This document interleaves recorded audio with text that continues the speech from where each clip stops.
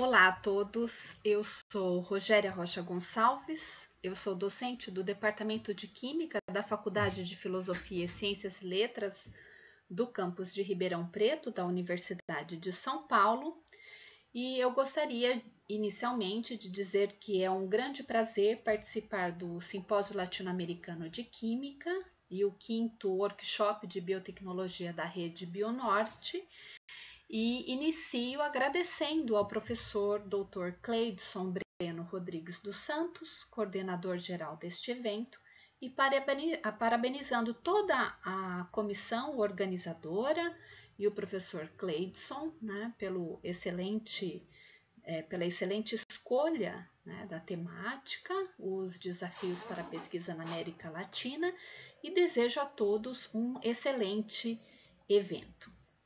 Bom, eu separei então né, um material para conversar aqui com vocês e demonstrar né, a importância né, do desenvolvimento de materiais luminescentes para diversas aplicações na área de fotônica e de biofotônica.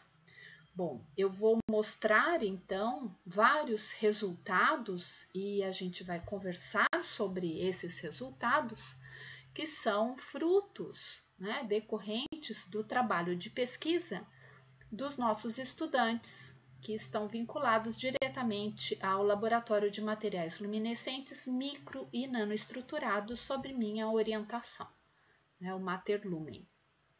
Bom, todos vocês sabem da grande importância da luz, né, tanto para a origem da vida, como para a manutenção da vida, para a existência de vida no nosso planeta. Né? E a luz e as tecnologias à base de luz que envolvem né, a interação da radiação matéria, elas estão presentes num número muito amplo né, de diversas atividades né, humanas né, no decorrer então de toda a evolução né, da, da, da vida né, na Terra. E as tecnologias à base de luz hoje né, gera, tem gerado um grande impacto nas nossas vidas. Né? Basta a gente pensar, né, por exemplo, na área de telecomunicações, né, com a utilização de fibras óticas né, para suprir aí a demanda de transporte de todo o volume de informação necessário, então, para atender né, a sociedade de uma maneira geral, né, global.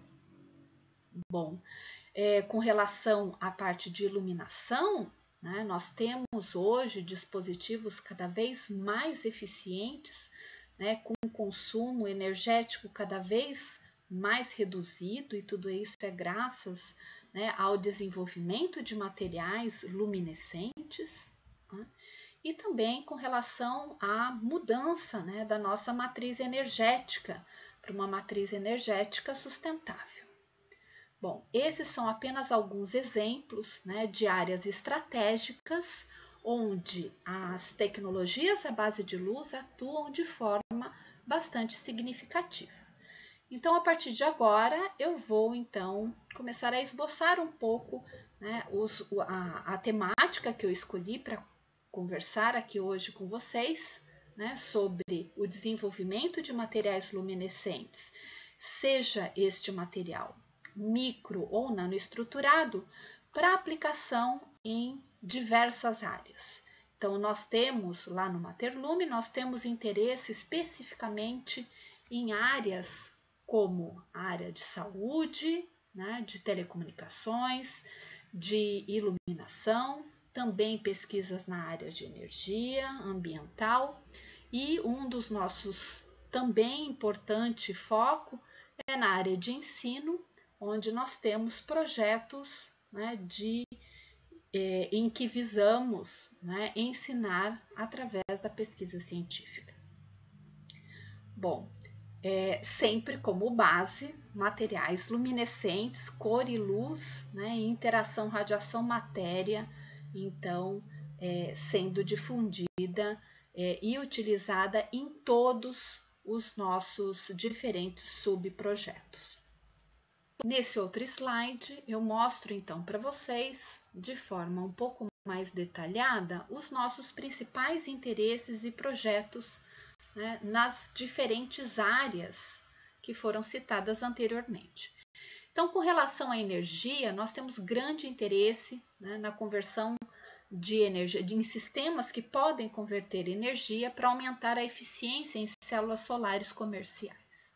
Né? Com relação à área de telecomunicações, nós temos projetos com o desenvolvimento de amplificadores óticos, especificamente na forma de guias de onda planar, com emissão larga na região do infravermelho. Então, com relação a telecomunicações, eu vou entrar mais a fundo no decorrer desta apresentação.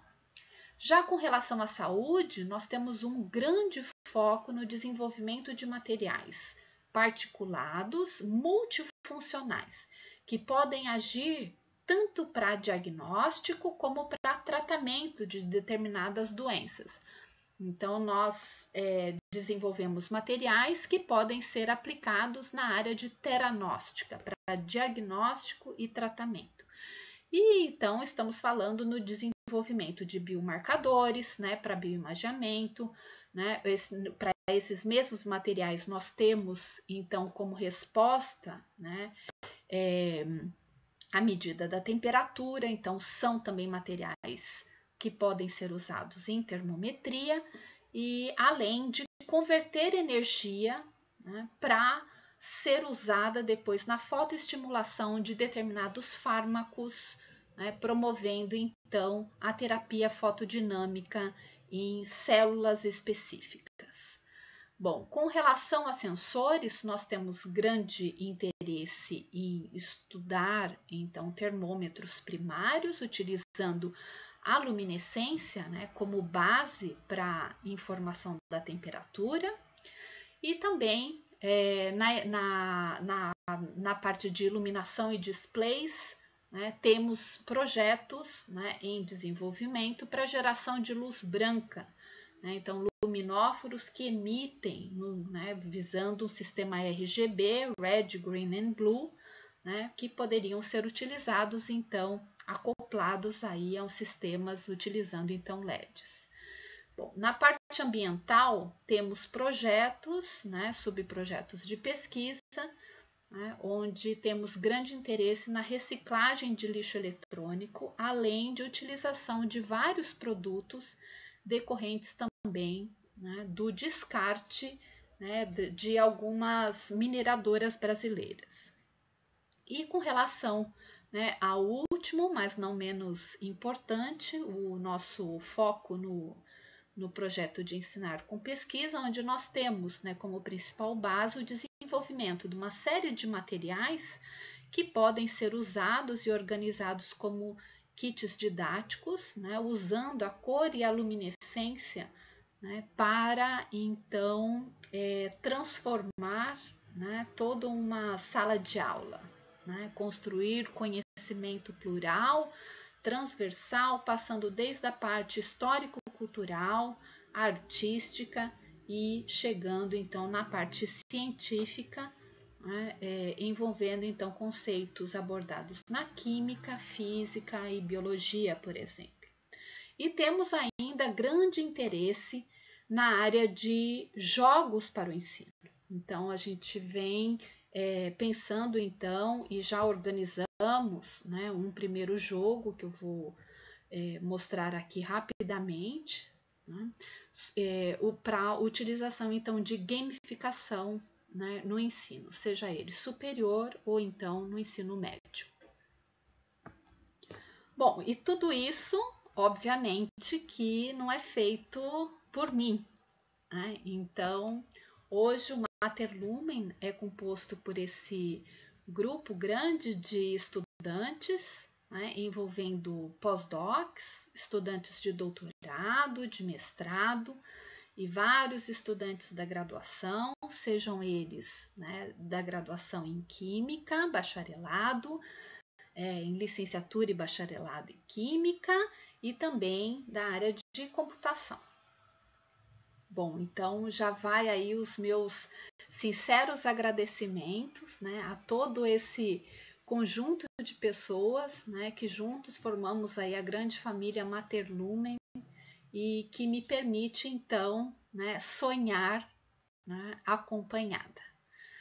Bom, então eu vou começar a apresentar agora para vocês né, o que eu estou denominando aí de cores em todas as suas formas, à luz da ciência, e, trazendo então para vocês né, é, alguns pontos né, importantes para a gente conversar aqui né, nesse mini curso.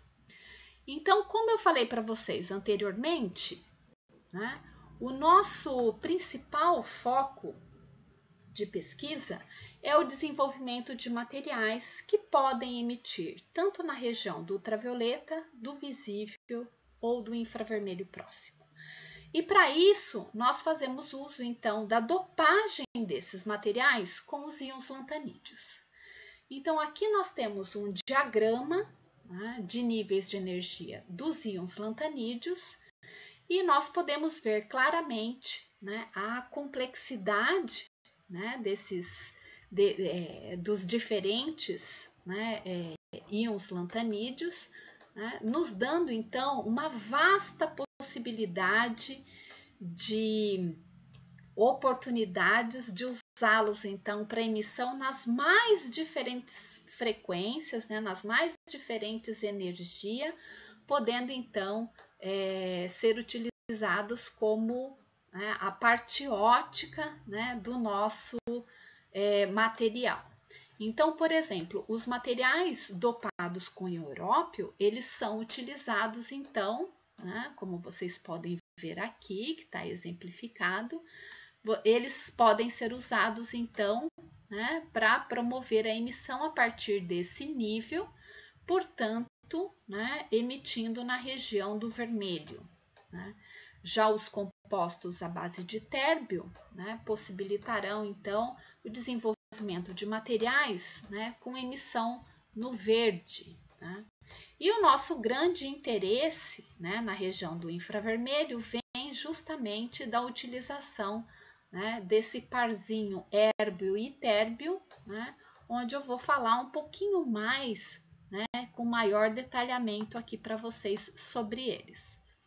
Então, o par hérbio e térbio ele tem sido bastante utilizado no nosso grupo, né, visando então, né, o itérbio ele apresenta apenas esses dois níveis de energia e ele tem uma seção de choque, uma absorção muito maior né, do que o hérbio e ele é ressonante com esse nível é, é, excitado dos íons hérbios. Então nós né, é, temos desenvolvidos materiais codopados com íons hérbio e térbio, visando então ter esse processo de transferência de energia após excitação no itérbio, né, que acaba decaindo né, até esse nível emissor e nós observamos então uma intensificação dessa emissão aqui específica que acontece na região do infravermelho próximo. Vocês vão ver que eu vou dar bastante enfoque né, nessa transição né? Essa transição ela cai em 1550 nanômetros e é uma energia, né? É uma faixa, né? De, de energia aqui bastante, né? Utilizada na área de telecomunicações.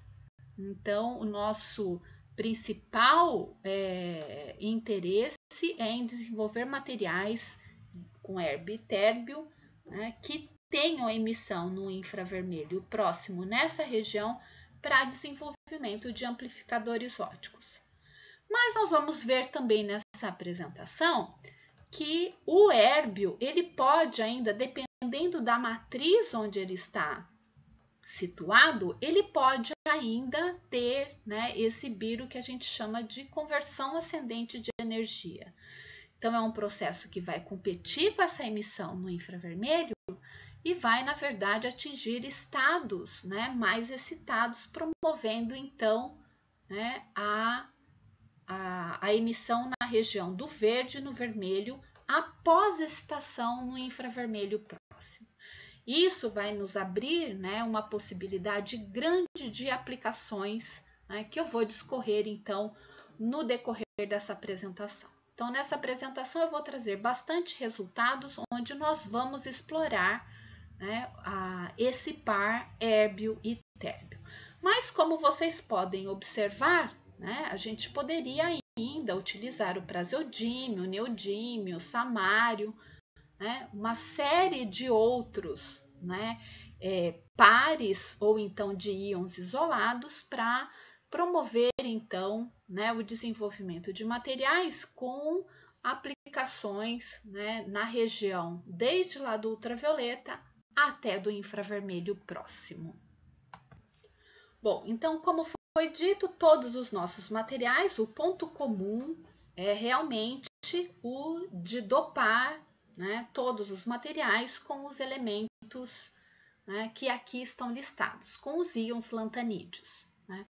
Normalmente, o estado de oxidação, né, que é mais é, é, comum, é o estado de oxidação 3, então nós temos utilizado normalmente os íons 3, né, os íons lantanídeos 3, para dopagem dos nossos materiais. Bom, e dopar em quais materiais? Então, nós trabalhamos desde vidros a vitrocerâmicas, como vocês podem né, ver aqui nessas duas primeiras imagens à esquerda. Né? Então, materiais vítreos, depois materiais vitrocerâmicos, onde nós temos então uma separação de fase e é, alguns nanocristais, então, que crescem né, nessa matriz vítrea, e o controle, né, a fase cristalina, a dispersão desses cristais, né, o tamanho, né? A fase cristalina e a quantidade né, vai fazer com que a gente possa controlar as propriedades óticas depois de aplicação desses materiais.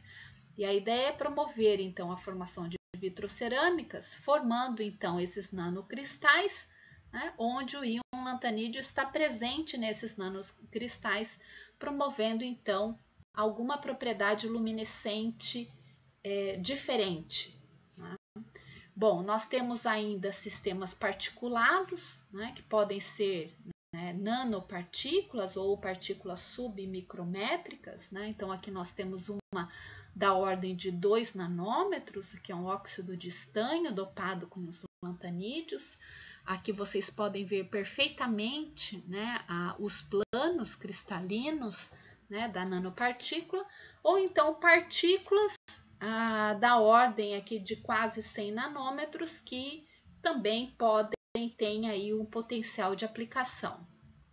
Bom, as propriedades luminescentes elas vão ser muito dependentes né, do ambiente químico. Então, no nosso é, estudo, para o desenvolvimento dos diferentes materiais, é muito importante a escolha da matriz. Né? E a forma com que esse material né, vai ser preparado, seja na forma de partículas, seja na forma de vidros, né, seja na forma de, uma, de um depósito sobre uma superfície, ou então na forma de um pó que pode ser redispersável, vai depender muito né, de qual aplicação queremos. Então, nós, nós preparamos materiais desde filmes, né, em determinadas superfícies, até mesmo de pós que são redispersáveis em meio biológico, redispersáveis em polímeros, e isso tudo né, conferindo então uma propriedade luminescente para determinada aplicação que desejamos. Mas um dos pontos críticos né, de todo o nosso trabalho é realmente né, é fazer todo um mapeamento e fazer o design de materiais onde a gente possa controlar né, o, o, ambiente químico onde o íon lantanídeo vai estar inserido. Né? Então, eu vou é, começar esboçando um pouquinho sobre a nossa pesquisa na área de telecomunicações. Bom, então na área de telecomunicações, né, quando a gente fala em guias de ondas, né, a base né, do transporte de informação é feita através de guias de onda, e nós temos duas formas de fazer isso, né, através de fibra ótica ou então através de guias de onda planares. Né? Então, nós temos um filme né, depositado sobre uma superfície. Esse filme ele tem que ter um índice de refração mais elevado né, do que o substrato, e então, dependendo da espessura, eu vou ter, né, da espessura e, do, e da diferença do índice de refração do filme e do substrato, eu vou ter um número, então, de modos que eu vou poder guiar né, dentro desse meu filme. Então, aqui tem uma imagem né, de um modo sendo guiado aqui na superfície, então, né, dessa plaquinha de sílica. Então, esse daqui é uma representação de um guia de onda planar, né, preparado, então, em nosso laboratório. Bom, é, a principal né, a, a, principal, o principal foco de pesquisa nosso né, no desenvolvimento né, desses materiais, né, guias de onda planar, né, é então né, a dopagem né, desse filme. Então, primeiro é a escolha né, do material e depois a dopagem, então, visando né, a aplicação né, na área de telecomunicações, né, para o desenvolvimento de amplificadores óticos né, é, miniaturalizados. Então, aqui vocês podem observar né, uma curva de atenuação da fibra ótica base de sílica, que é utilizada né, nas redes é, de telecomunicações. E aqui nessa região né, de um mínimo de atenuação é onde é realizada então o transporte de informação. Então, essas são as janelas, né? Essa daqui é uma das janelas que é utilizada então na área de telecomunicações. E claro que para a regeneração do sinal, para manter um sinal né, é, adequado, a gente tem que fazer a amplificação do sinal né, após determinados é, quilômetros né, de percurso. Então, é, normalmente isso é feito com fibras óticas né, de sílica dopadas, então, com os elementos lantanídeos, que exibem, então, emissão e a emissão estimulada, ou seja, amplificação ótica, nessas diferentes janelas. Né? O nosso interesse né, é passar né, de alguns metros de fibra para alguns milímetros quadrados, né, formando então os dispositivos fotônicos.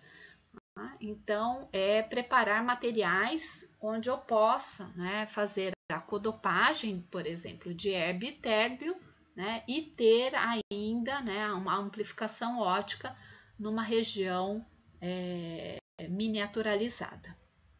Bom, é, para isso, né, como eu falei para vocês, a gente usa bastante né, a emissão de 1.5, que é justamente a, a emissão principal que é utilizada em telecomunicações, e a ideia é preparar um material que depois possa ser utilizado como amplificador.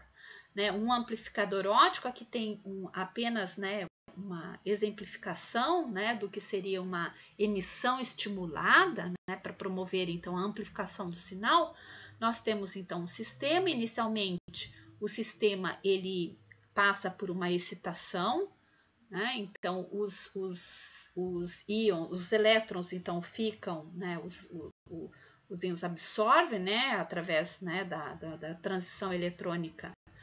É, nós temos então a popula uma inversão da população, os elétrons passam a estar então num estado excitado, né? e quando a gente chega com um determinado sinal aqui, um determinado comprimento de onda, né?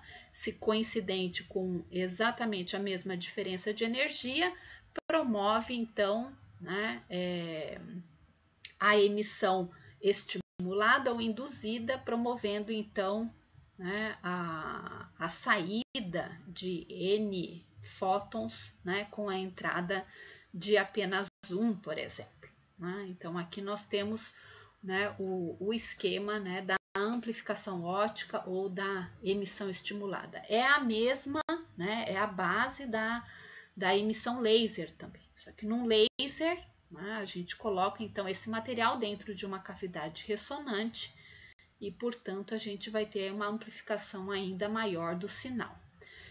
Então, esses materiais, eles podem ser utilizados, né? O desenvolvimento desses materiais podem ser utilizados tanto para amplificação ótica, como ainda, né? Dependendo do desenho, né? Dos filmes, né? Colocando, por exemplo, uma rede de difração, a gente pode pensar também na otimização para produção de microlasers. Bom, é, somente, né, como, como ilustração, né, apenas, né, os guias de ondas planares, né, têm sido a base, né, para essa geração nova aí de dispositivos, né, utilizando realidade aumentada. E recentemente, né, é, pesquisadores também né, é, realizaram a, a, preparação de alguns guias de ondas na superfície aí do Gorilla Glass, né, com a ideia de né, realização de sensores que podem usar então a parte evanescente né, do, da, da radiação que está sendo então confinada nesse guia né, para interagir então né, com algum material que possa então exibir né, a parte de sensores. Então, para a gente, né, para a realização de sensores na tela, por exemplo, de celulares. Então, só mostrando e contextualizando um pouco aí a utilização mais recente de guias de ondas planares né, na, na, e, nesses novos dispositivos tecnológicos. Bom, e como que a gente né, prepara esses, né, esses materiais luminescentes? Então, nós realizamos né, é, a preparação de, um, de uma suspensão coloidal, que é totalmente estável, né, completamente transparente. Né? Então, para esse especificamente, são compostos que no final eu vou ter a formação de um filme né, é, vitrocerâmico, onde eu vou ter sílica e alguns nanocristais de determinados óxidos de metal de transição, como óxido de nióbio, óxido de áfnio, óxido de tântalo, dopados então com íons lantanídeos. Então aqui vocês podem é, verificar que nós preparamos então, né, nós partimos dos precursores moleculares, a gente tem um, um grande controle né, de todo o processamento do material desde a escala nanométrica e a gente faz então a preparação, a deposição dos filmes por um processo chamado deep coating. Então nós mergulhamos a plaquinha, né, por, né, então através de imersão e emersão e com posterior tratamento térmico a gente chega então à preparação desses filmes que apresentam então uma excelente qualidade ótica. Né? E claro que, né, mostrando ali, parece ser fácil, né, mas na verdade o desenvolvimento de materiais né, para especificamente né, para a gente usar como guias de ondas planares, eles precisam exibir várias características e a gente tem que controlar todas essas características que eu vou listar aqui agora. Né? Então, cada uma delas é um universo, é uma palestra né, para ser é, discutida. Né? Então, eu vou rapidamente né, mostrar aqui para vocês que a gente precisa controlar as propriedades óticas, né? e essas propriedades óticas, eu estou falando então, para eu saber o número de modos guiados, eu tenho que é, é, deixar a espessura e, e, o índice de refração adequados para a gente ter então o número que a gente deseja de modos guiados no filme. E obviamente eu tenho que analisar as perdas óticas. Né? E essa perda ótica ela é muito importante, né? Porque obviamente eu não posso ter um material que exiba uma elevada perda de maneira a não ter a propagação né, desejada. E para isso eu preciso controlar as propriedades morfológicas. Então eu tenho que pensar se o filme vai ter né, separação de fases, se vai ter poros ou se ele vai ter cristais, o tamanho e a distribuição vai ser importante para evitar espalhamento e perdas óticas significativas. Além disso, a superfície também não pode ser rugosa, né? Então eu tenho que ter filmes né, que tenham uma rugosidade da ordem de angstrom. Né? E além disso, isso só, somente pensando na propagação do sinal. Agora, pensando na parte de luminescência, eu tenho que controlar todas as propriedades estruturais, ou seja, os modos vibracionais que estão ali presentes naquele filme, né, ao redor do íon lantanídeo.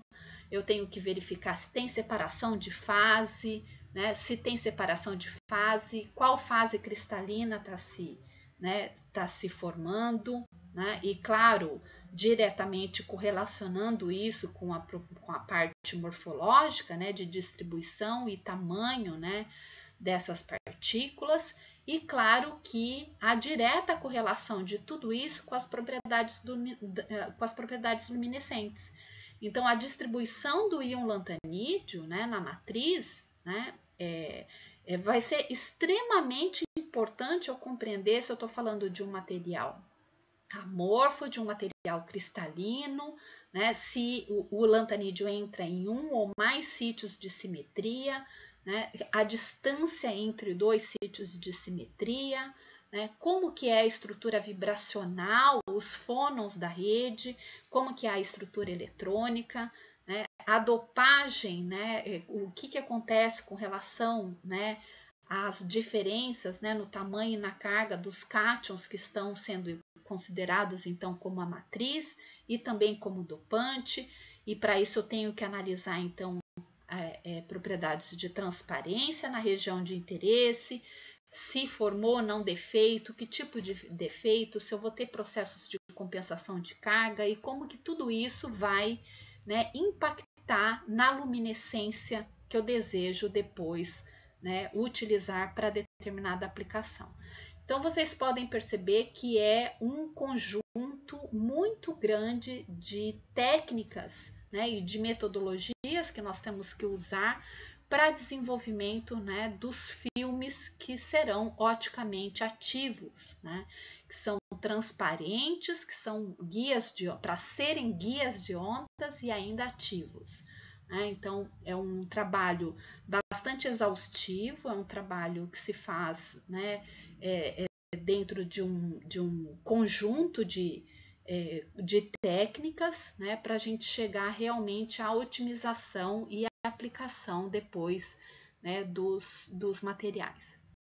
E aí então né, finalmente, né, só falando um pouquinho das propriedades luminescentes, né, é, as propriedades luminescentes elas vão ser muito sensíveis, né, tanto à emissão, né, o rendimento quântico, a eficiência quântica, né, o tempo de vida dos estados excitados, eles vão ser muito sensíveis a essa esfera de coordenação, à estrutura local, então ao microambiente do lantanídeo, né, no no nosso sistema e, e obviamente, né, que depende fundamentalmente da simetria e do índice de refração.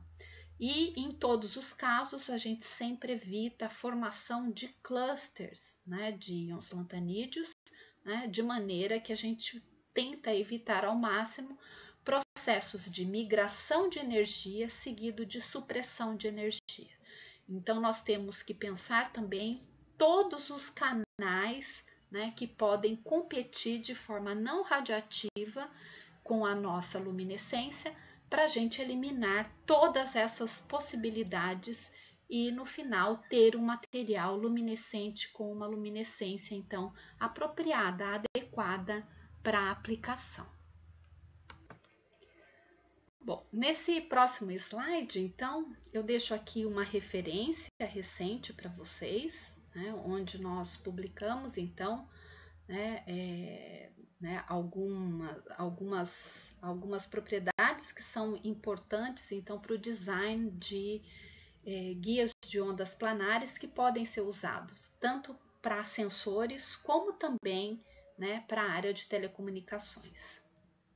Bom, e obviamente, né, como eu falei para vocês anteriormente, a escolha da matriz é algo extremamente importante para a gente compreender, né, fazer a correlação direta né, de estrutura da matéria com a propriedade e as propriedades luminescentes né, dos íons lantanídeos vai depender muito né, de, desse ambiente onde ele vai estar então ocupando os diferentes ou um ou mais sítios de simetria.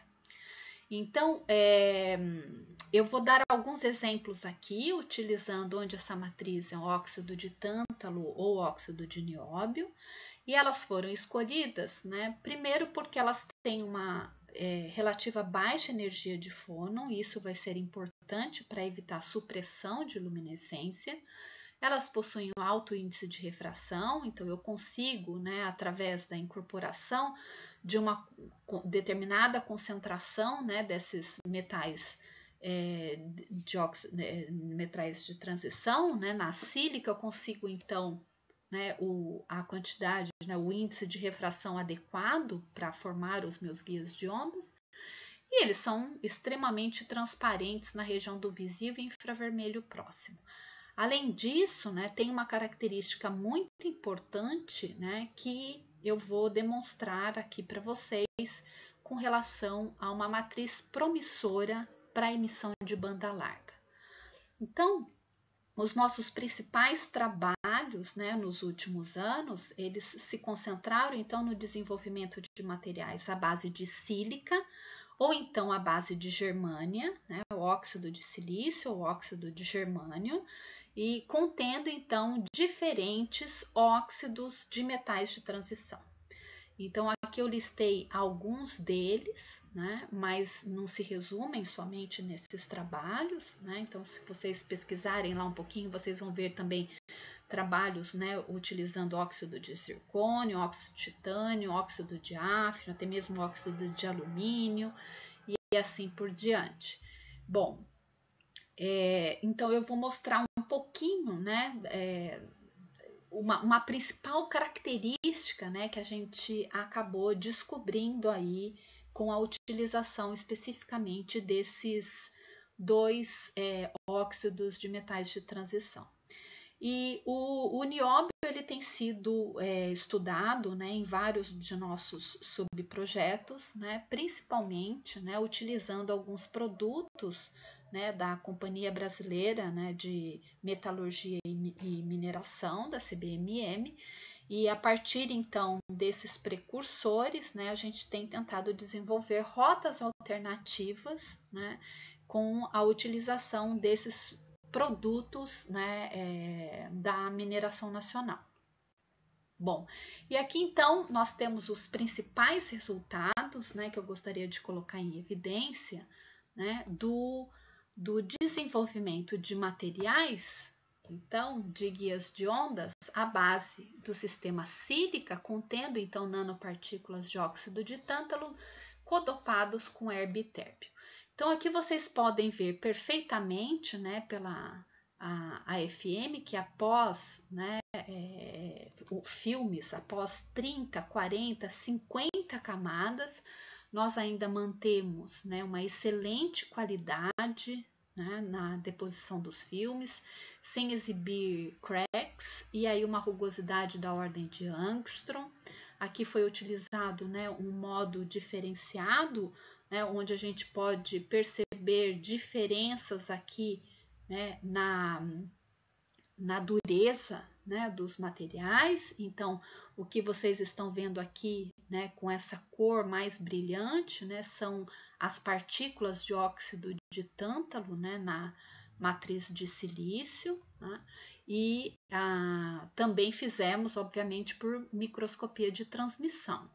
Né, então, vocês podem ver aqui, né, as partículas formadas, então, né, é, na, no filme.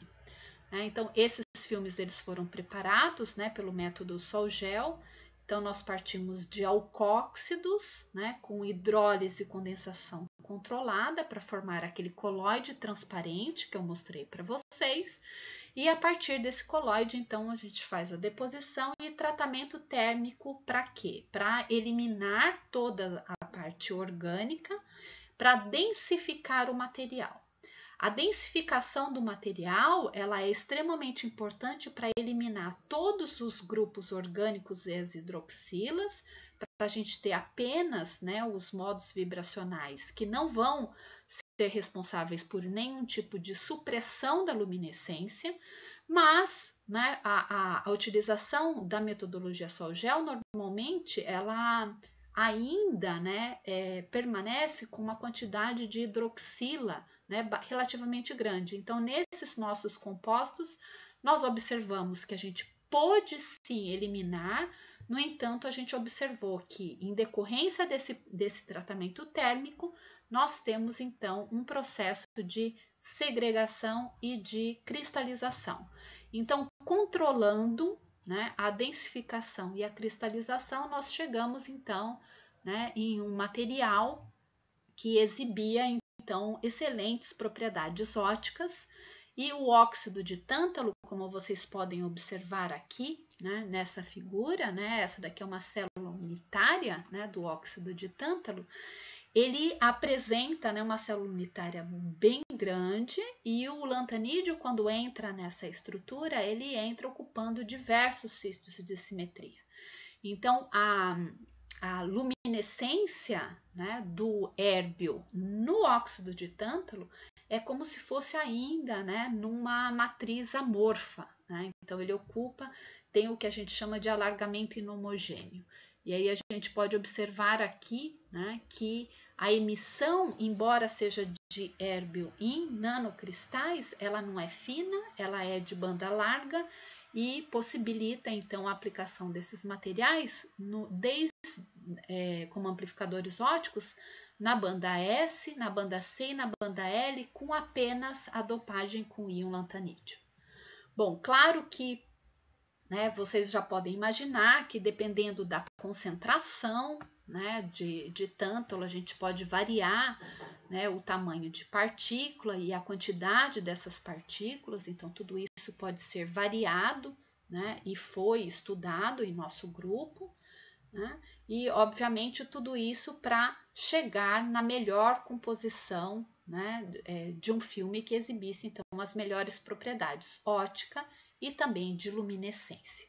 Né? Então, aqui só né, mostrando quando a gente tem apenas o óxido de tântalo. Então, essa é uma, é uma propriedade de emissão que ela não é usual para nanocristais. Normalmente, em cristais, né, a gente tem né, a entrada em apenas um ou dois sítios de simetria, e isso a gente, o que resulta, então, em linhas muito finas de emissão. Né? Então, Nessa matriz de óxido de tântalo e também no óxido de nióbio acontece então né, essa propriedade de luminescência não usual. Né? Então, para a gente pensar agora numa real aplicação desses materiais, né, como dispositivos óticos, a gente precisa agora né, fazer uma microestruturação desse filme. E essa microestruturação ela tem sido feita através né, da incidência de laser de femtosegundo na superfície desses filmes e a ablação. E a partir desse processo então de ablação, a gente constrói então os canais. Então nós temos os guias de ondas agora canais e são esses canais que a gente pode utilizar então, né, para amplificação ótica. Toda essa parte de microestruturação né, é feita com alguns colaboradores nossos da Universidade Federal de Pernambuco e também do IFISC, né, do Instituto de Física de São Carlos, né, dentro aí do Instituto Nacional de Fotônica. Bom, aqui só mostrando, né, então, né? A ideia é fazer uma ablação, então uma escrita a laser, na verdade é uma ablação a laser na superfície dos filmes, formando então né, essas microestruturas dentro de um material, né, na superfície de um material nanoestruturado. E aqui nessa outra imagem vocês podem ver né, uma fibra ótica sendo acoplada aqui a esse canalzinho né, que foi construído, né, é, para excitação, então, né, de um determinado modo. Esse verde que vocês estão observando é justamente a conversão ascendente de energia. Então, esses materiais, eles exibem não somente a emissão em 1.5, quando eu excito em 980 nanômetros, mas também exibem aquele processo de conversão ascendente de energia que eu falei no início da nossa apresentação. Então, esse verde é um processo que está competindo com 1.5 e nós precisamos então encontrar a condição ideal de maneira que não seja negativo né, para competição lá com a emissão em 1.5.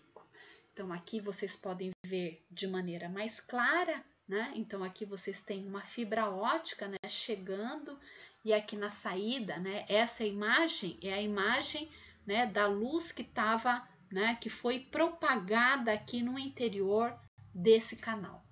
Né? Então, aqui só mostrando para vocês, então, a importância, né, é, também de se controlar todas aquelas propriedades óticas e estruturais para que a gente pudesse, então, ver essa propagação. Bom, então, aqui eu deixo para vocês também, né, a, a, essa referência, né, para vocês depois né, observarem é, com mais atenção, né, onde a gente faz o uso né, de medidas de índice de refração né, pra, e, e de espectroscopia para acompanhar todo o design né, de, de determinados guias de ondas que podem ser então usados como plataforma para sensores óticos, por exemplo, para sensor de umidade ou até mesmo para amplificação ótica. Bom, agora nos meus 15 minutos finais, é, o que eu gostaria de, de apresentar é, é algo bastante informativo para vocês. Depois, se vocês tiverem mais é, curiosidade, pode entrar em contato comigo, mas eu vou passar então rapidamente nos diferentes outros subprojetos, somente dando enfoque né, na nossa principal é, no nosso principal estudo ou principal propriedade em decorrência de cada um deles, né? Então, aqui rapidamente, só falando, né, também do sistema de nióbio, ele apresenta exatamente, ele tem uma das estruturas do nióbio, ela é muito similar ao óxido de tântalo. Então, o que nós aprendemos com o óxido de tântalo, a gente pôde né, passar para o óxido de nióbio e, a, e o óxido de nióbio, além de trazer um, uma relação custo-benefício muito menor para a gente, ela abriu ainda a possibilidade da gente utilizar precursores nacionais. Bom, e nesse sentido, agora tentando né, é, fazer o que a gente chama dos super broadband ou ultra broadband, né? É, o Fábio Caixeta tem estudado materiais que agora a gente não faz somente a dopagem com herbiteb, mas a gente faz uma tripla dopagem, né? de maneira a aumentar ainda mais a largura né? de emissão desses materiais. Então, aqui só exemplificando que isso é possível né? ser feito e esse trabalho ele está ah, sendo encaminhado para publicação. Bom, é, claro que né, nós temos no nosso, né, no nosso laboratório, então, né, o que a gente chama de espectroscopia M-Line, através desse equipamento, né, que nós podemos então observar o número de modos guiados, a gente faz a medida do índice de refração, a gente chega no perfil de índice de refração em função da espessura, da profundidade, para a gente observar se o filme está completamente densificado ou não e podemos calcular os coeficientes de também né, de confinamento para saber se a espessura e o índice de refração eram adequados para aquele determinado, para aquela determinada condição de filme. Né? Então nós temos né, no laboratório um conjunto aí de, de, de técnicas que utilizamos para a gente fazer todo o estudo e acompanhar toda a formação né, e a, né, o desenvolvimento desses guias de ondas planares. Bom, como eu falei para vocês, essas mesmas vitrocerâmicas, né, em alguns momentos, né, além de exibir aquela luminescência não usual, ela pode ainda exibir, né, a conversão ascendente de energia. E a gente tem, né, também relatado isso já na literatura, né? então a gente tem, né, uma eficiente, né, é, emissão na região do verde, justamente, né, porque é, a gente está numa região de relativa baixa energia de fono. Então, a gente tem alguns trabalhos aí que vocês podem olhar depois na literatura para emissão, então, tanto de verde como do vermelho, né, nessas vitrocerâmicas à base de óxido de tântalo e óxido de nióbio. Bom, é, com relação aos do, sistemas contendo agora óxido de germânio, isso é algo mais recente no nosso grupo, e nós estamos estudando também né, a substituição da sílica por germânio, porém essa substituição ela levou a resultados inusitados e muito mais interessantes do que imaginávamos.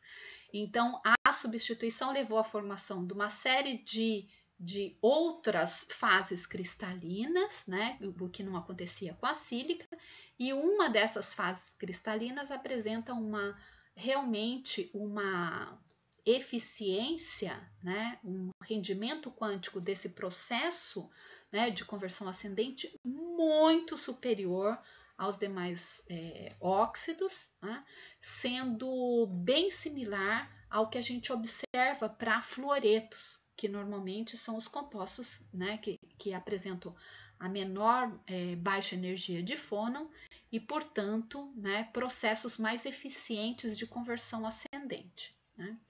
Esse trabalho é, foi publicado, foi capa recente da, da Journal Physical Chemistry C, né, onde é, o doutorando ele né, mostrou também a possibilidade né, de utilização então desses compostos, né, quando dispersos no PMMA, para nanotermometria e conversão fototérmica. Então também convido vocês depois a é, olharem, né, lerem com, com atenção e colo me coloco à disposição depois para conversarmos sobre né, esses trabalhos. Bom, é, nesse trabalho é, foi feito também toda, né, todo uma, um desenvolvimento teórico também, né, de distribuição, e foi muito importante para comprovar né, que aquela determinada fase era realmente a que tinha uma influência grande nessas propriedades únicas né, do hérbio naquela matriz, foi importante né, se verificar as distâncias ótimas né, do par hérbio e térbio né, naquela matriz específica. Né, e com isso, então, mostrando mais uma vez que né, o desenvolvimento de novos materiais né, é, envolve, na verdade, um conjunto né, de parâmetros estruturais que temos, então, que colocar atenção. E, e, isso nos anima bastante, né? nos motiva a buscar novas matrizes, né? que podemos então né, obter né, propriedades únicas né, e comparáveis com outras que não poderiam ser utilizadas em determinadas aplicações. Né? Bom, com relação agora à parte de biofotônica,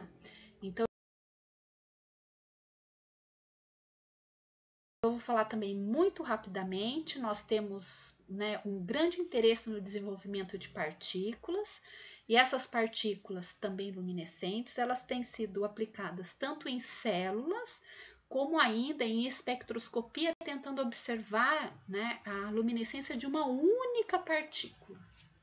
Né? Para isso, a gente usa uma série de técnicas diferentes né, para desenvolvimento né, é, é, é, de partículas que, que tem dimensão variada e que tem, obviamente, também uma composição química diferente. Então, a gente usa metodologias como a metodologia sol-gel, precipitação homogênea, síntese hidrotérmica, né, usando ou não microondas. Né?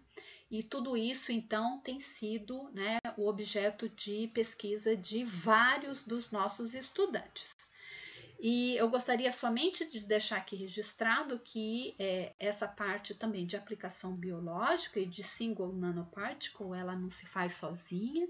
Então, nós temos também né, os colaboradores, então o professor Tedesco, o professor Roberto Santana, né, da, da, da, da Universidade de São Paulo, né, o, o doutor Felipe Goldner, né, e Gilles Gasser, que, que é uma colaboração que temos com a École Nationale Supérieure de Chimie de Paris, é, a doutora Ruth e Luiz Carlos, né, do CISECO, da Universidade de Aveiro de Portugal, e com relação a single particle, né, com Leonardo Menezes, da Universidade Federal de Pernambuco. Então, a gente tem, na verdade, uma grande equipe né, para se chegar em alguns resultados interessantes. Então, é, da mesma forma que eu apresentei anteriormente, essas partículas né, elas podem ter emi tanto emissão no infravermelho como a conversão ascendente. Né? E essa conversão ascendente, esses dois estados aqui, né, que vocês podem ver aqui, é, esses dois estados aqui, né, eles são acoplados termicamente. Isso significa que eles podem ser explorados, então, para nos dar informação de, da temperatura local. Né? Então, né, aqui vocês podem ver que a gente pode variar o tamanho de partícula, né? e a ideia da gente excitar no infravermelho, né, na parte de sistemas biológicos, é porque a gente consegue atingir camadas mais profundas da, da, da pele e, obviamente, aqui, né, então tem uma série né, de abordagens diferentes. A gente tem trabalhado com partículas que são porosas, partículas core shell, que tem uma superfície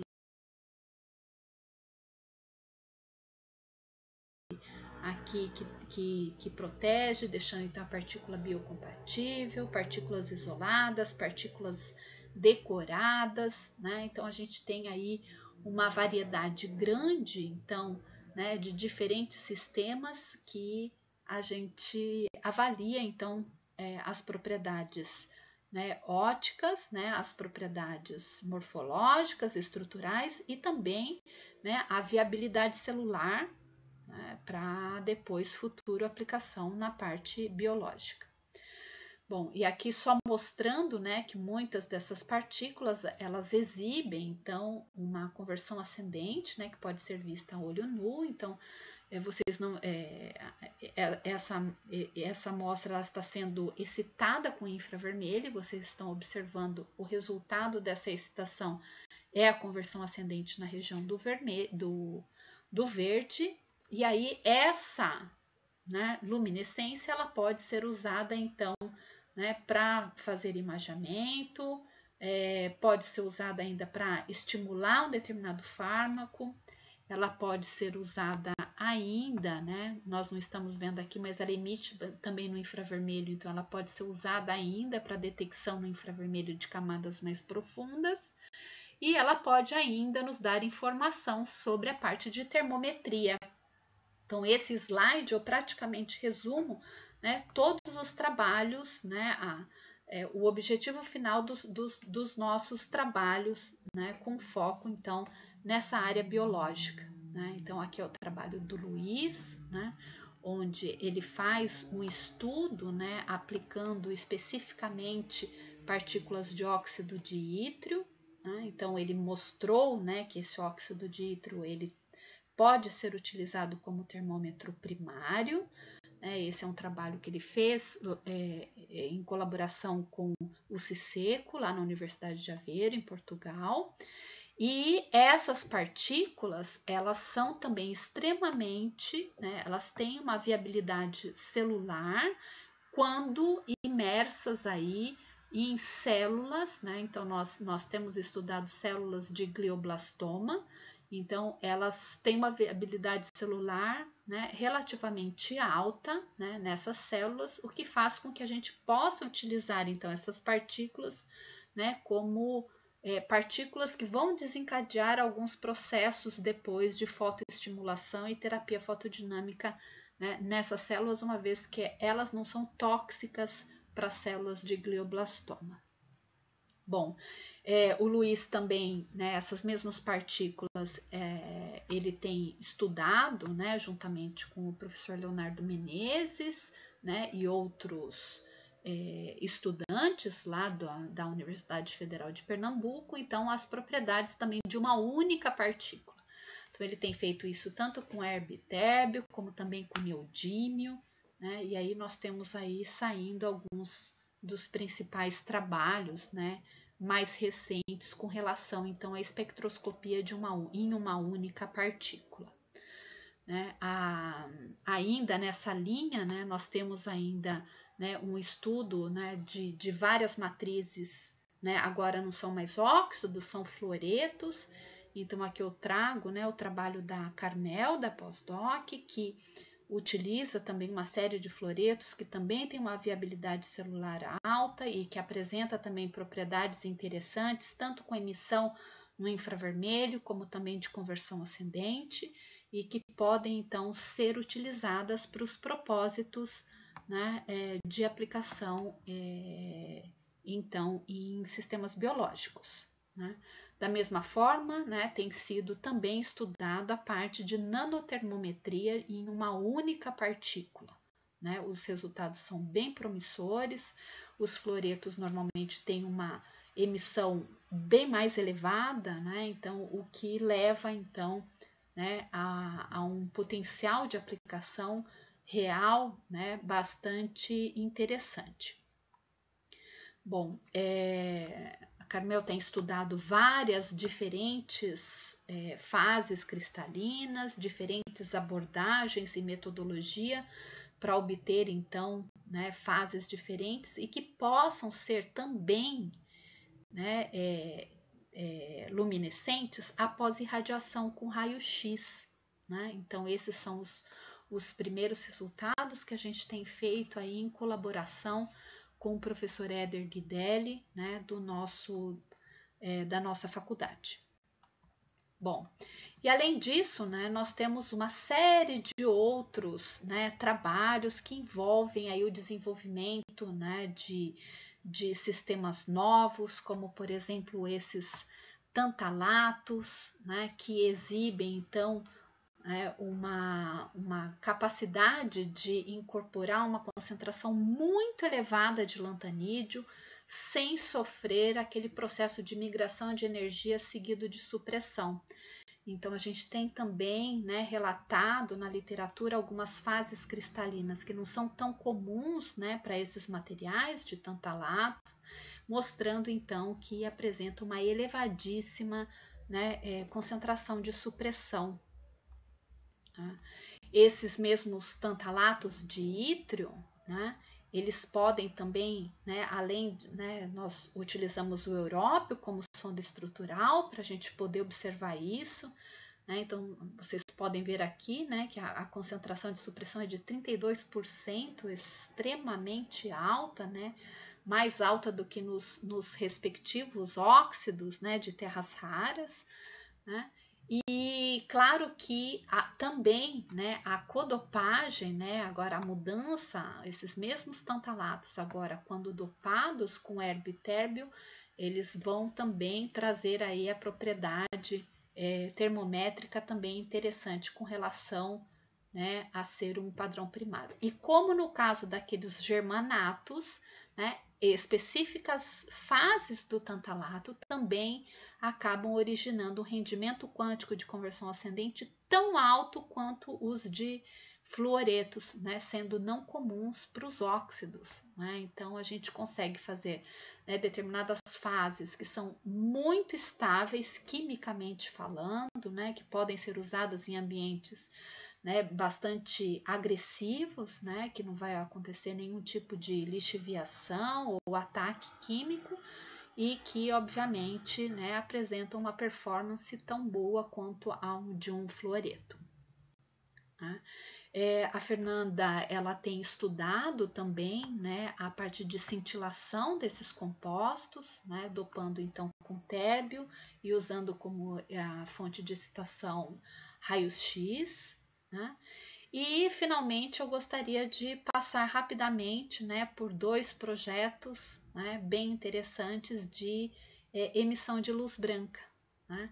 Então, nesse primeiro, né, a, a luz branca ela né, é um projeto desenvolvido pela Raira, né, é, pela mestranda, é um projeto que vem né, com a utilização né, é, daqueles mesmos tantalatos né, que eu citei anteriormente, mas agora com codopados com o par praseodimiterbo. Então vocês podem perceber que de uma mesma matriz, dependendo da codopagem, a gente tem processos e aplicações completamente diferenciadas.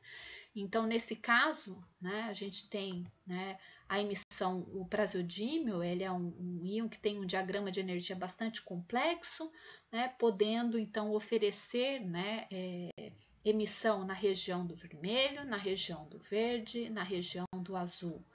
E aí, obviamente, né, a própria matriz também pode exibir algum tipo de emissão, promovendo então a origem de luz branca.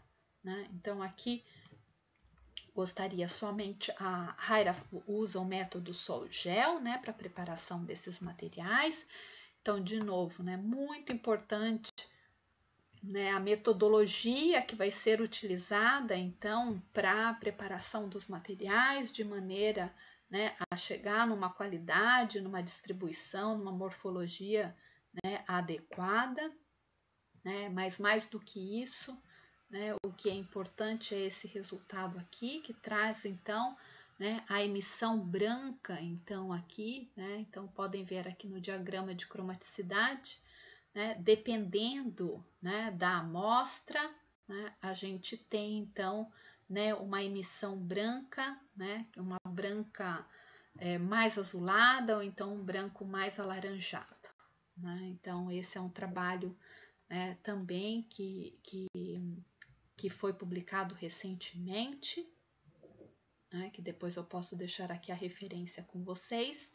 E finalmente o trabalho aqui do Vitor, né? O Vitor ele vai apresentar esse trabalho na forma oral nesse congresso então eu não vou né, dar nenhum spoiler aqui.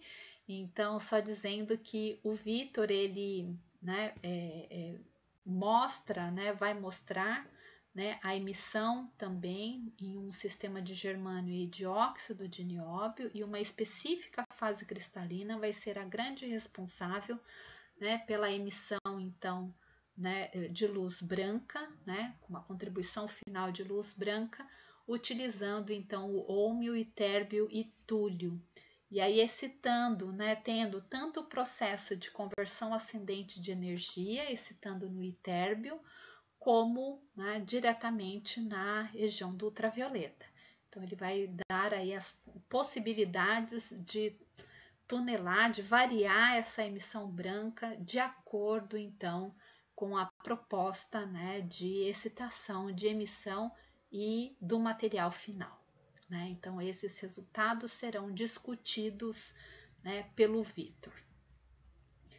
Bom, então eu passei aí por uma série né, de, de exemplos, eu estou partindo para o final, a gente tem ainda né, interesse na área energética, né, mas não vou comentar sobre aqui, né, estamos realmente é, esperançosos de voltar a nos encontrar. Esse daqui foi o nosso último encontro presencial, né, de parte do nosso grupo. Né? E eu deixo aqui né, o site do nosso de um jogo, é um jogo que chama MUSP, é o Museu de Mineralogia da USP. Então, nesse jogo, né, esse jogo é free, grátis, vocês podem baixar. Então, tem né? Um primeiro, uma primeira parte são dois ambientes. Uma primeira parte é um museu virtual de mineralogia que pode ser usado então né, em aulas, né, onde a gente não tem um museu de, de mineralogia tão próximo. Em cada quadro tem como né, fazer a ampliação, clicar e ver né, a, a imagem macro e microscópica e depois no final, né, o jogador ele escolhe, né, um mineral na lojinha final do, do, do tour e vai então para os laboratórios para fazer uma série de testes, né, de ensaios, né, usando diferentes metodologias para se chegar então na identificação daquele mineral que ele comprou, né, na, no final então é, da, da visita ao museu. Né? Então é, a gente tem, tem ficado muito muito ansioso em utilizar né, tudo isso é, também na rede pública, então é, espero que vocês gostem, né, que façam uso e que entrem em contato com a gente para contar o resultado depois. Bom, eu gostaria de agradecer né, os grandes responsáveis por tudo isso, né, de eu estar aqui hoje falando, né, os resultados de pesquisa é graças a esse a todo o Materlumen, né, todo o grupo de pesquisa, né, e também né, ao conjunto de colaboradores que nós temos, nacional e internacional, que nos possibilita então desenvolver né, a, a pesquisa com excelência, né, dentro aí das fronteiras de conhecimento, sempre avançando mais, sempre trazendo né, uma realmente uma experiência né, na formação de excelência dos nossos estudantes, né, que é o nosso principal objetivo, e, obviamente, ciência de qualidade né, dentro desse nosso país. Né? É, então, fica aqui a minha mensagem né, reafirmativa, afirmativa. Né, é, da importância da ciência para desenvolvimento de um país.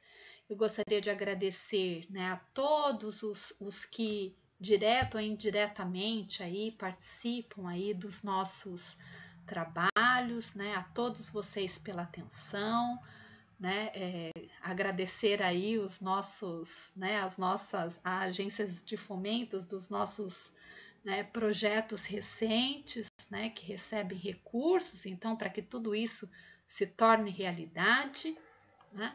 E para as meninas, né, que estão me assistindo, deixar aí, né, a, a mensagem que o lugar de cada um, né, de cada um, de cada uma de vocês é apenas e unicamente onde vocês desejarem estar. Então, é, que seja na ciência, né? E finalizo aqui com essa bela imagem de quando os meus sobrinhos, né, especificamente o Lipe, né, é, em discussão comigo num pôr do sol, ele conheceu o sentido real e metafórico do, da palavra horizonte, né, do ir além do horizonte. Então, que, que vocês não tenham né, a, essa fronteira, né, isso para os para os estudantes que estiverem assistindo, para os pesquisadores que estiverem iniciando. Então, vão além do horizonte sempre e a ciência sempre em defesa, né, em prol da vida. Né? Então, muito obrigado a todos pela atenção.